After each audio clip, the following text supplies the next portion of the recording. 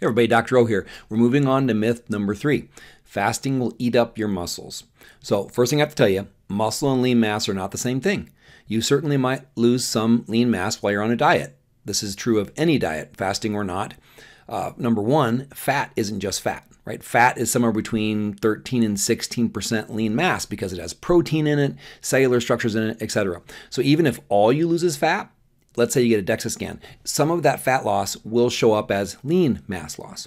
The other thing to keep in mind is that you're carrying less you around, right? If you lose 100 pounds, maybe you will lose a little bit of lean mass because you're carrying less you around. Imagine strapping 100 pounds on your back, your weight, your, your lean mass is going to go up because you have to carry more of you around. So keep all those things in mind.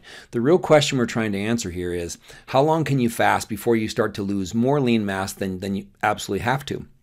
So, what I'm going to say here is that smart fasting won't eat up your muscles at all, and I will explain why. So let's go ahead and dive in. What does the science say? One of the most important studies I've ever seen as a dieter or as a nutrition teacher. A limit on the energy transfer rate from the human fat store in hypophagia. This study is going to tell us how aggressive we can be on any type of diet because it'll tell us how much energy our body fat can provide each day. So hypophagia means when you're not eating as much as normal. Energy transfer rate is saying how much energy can a pound of fat provide is basically what we're going to look at here. So here is from the abstract and I'll decipher it.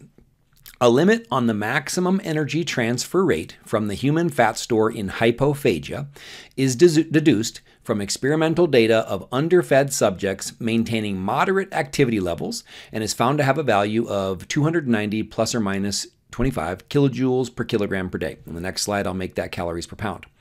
And just so you know, these uh, underfed subjects, they, they lost 25% of their body weight. They were eating 1,570 calories a day, just so you know.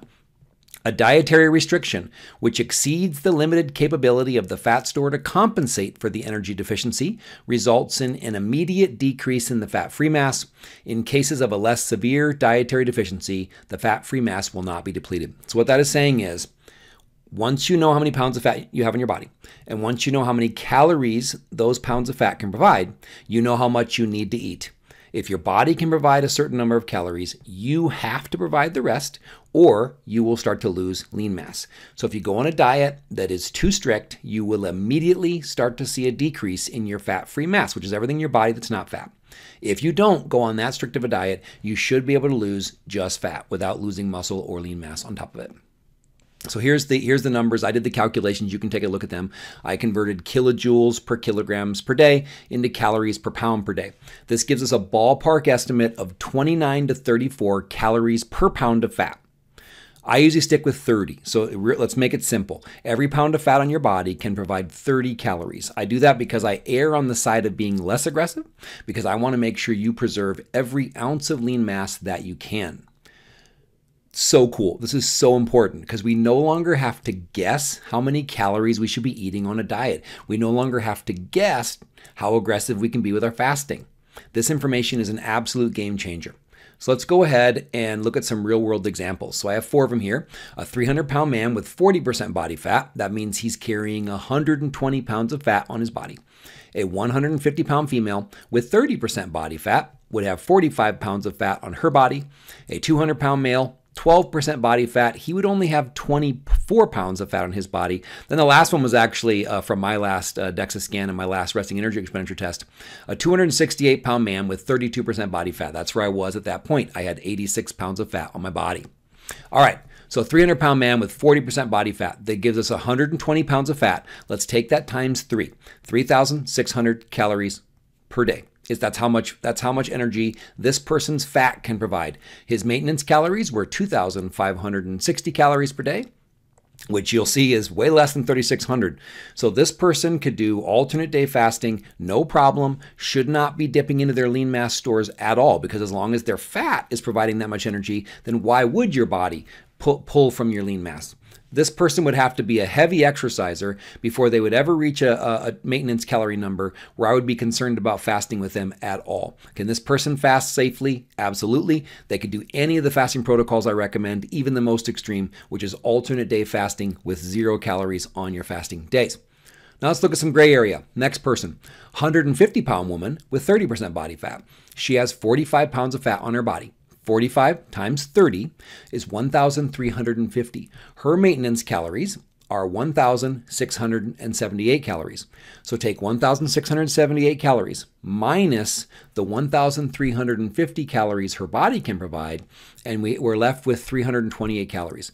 So should this person do alternate day fasting where they eat zero calories on their fasting days? No. Uh, I'm definitely not saying they should eat 328 calories per day. I'm saying they have to eat 328 calories per day if they want to preserve lean mass. I know plenty of people with these stats that do alternate day fasting, they lose weight great, but they're probably losing a little bit of lean mass. Not a ton, especially if they're sleeping and their stress is under control and they're lifting weights. But if you want to maximize your fat loss while minimizing lean mass loss, this person should be eating 328 calories on their fasting days. So they would do the modified or hybrid fasting program I recommend, where they eat, then on their fasting days they would eat 328 calories or in that in that ballpark, which is perfectly fine. Lots of people do alternate day fasting where they eat 500 up to 500 calories on their fasting days. So is fasting safe for this person? Yeah, I wouldn't recommend the strictest alternate day fast and definitely not extended fasting, but they could do the hybrid alternate day fast, they could do the 5-2 program, they could do any of the time restricted feeding. So fasting perfectly safe will not impact their muscles if they do it smartly. Next one, 200 pound man, 12% body fat. That's only 24 pounds of fat, 24 times 30. This guy's body fat can provide 720 calories per day. His maintenance calories are 2,513. So take that, 2,513 minus the 720 his body can provide. He needs to provide his body with 1,793 calories per day. Alternate day fasting's off the table if he wants to preserve lean mass. I would recommend the 5 2 program, they're all off the table. I would recommend time restricted feeding in a 16 8 window. So in eight hours every day, he should be eating around 1,800 calories. He can eat less, but he'll lose more lean mass than he technically would have to. He can eat more and go on a slower diet, and that'd be perfectly fine too. But that's the number he should shoot for. So you probably don't care about these people. Uh, let me let me share one example of me, and then then then we'll kind of look at how you could look at this. So a 268 pound man with 32% body fat. That would be 86 pounds of available fat. 2,580 calories per day could be provided by that fat. Maintenance calories 3,341 when I'm doing moderate exercise. If I'm doing light exercise, it's down to 2,964. So, you know, or, or sedentary is 2,587. So that's the number that I kind of look at here. On a day when I'm doing moderate exercise, I'm eating. Those are my eating days. So what, can I still do alternate day fasting? Yes, because in in the on the fasting days, I'm just doing light activity or I'm sedentary. I'm sitting here, I'm working, I'm standing, but I'm, I'm, not doing a whole lot. I'm not exercising. I'm taking some walks.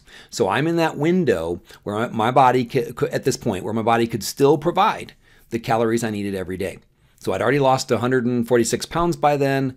I'm, i was still using alternate day fasting. I'm, I'm leaner than this now and I'm still doing it, but I just have to be uh, really careful. Another thing I would note is generally when, when I am fasting, I'm also on a low carb diet, so I'm more fat adapted. So I think part of that means that your body, your body fat can actually provide energy more efficiently as well. So this is, but now, now at this point, I'm at that gray area where what should I do? I should definitely not be super active on days when I'm fasting. I shouldn't be training on days when I'm fasting because my, my calorie needs for those days would go too high. But in this situation, fasting was still safe. So you need to you, know go go through the lesson where I taught you how to figure these out these numbers out for yourself. So basically what you need to determine is do you need to be eating? If you have enough body fat on your body, you don't need to be eating and you can do alternate day fasting. If you need to be consuming calories, then look at the modified programs or look at time restricted feeding. But Smart fasting will not eat up your muscles, right? And don't forget, you can even build muscle while you're fasting. So I lost when I lost my first 100 pounds, 88% of it was fat, 12% was lean mass, and that lean mass really came from fat, right? I was getting stronger. I was, you know, uh, uh everything was was showing that I wasn't losing muscle while I lost 100 pounds.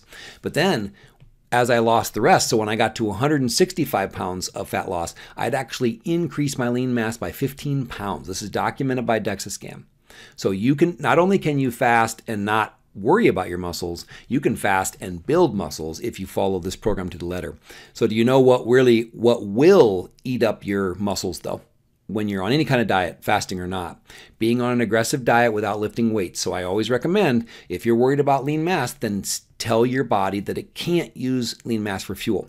So do some, you know, get some resistance bands, take some walks, walk up and down the stairs. Doesn't have to be a lot, but use your muscles so your body sees them as a necessity and not a potential fuel source.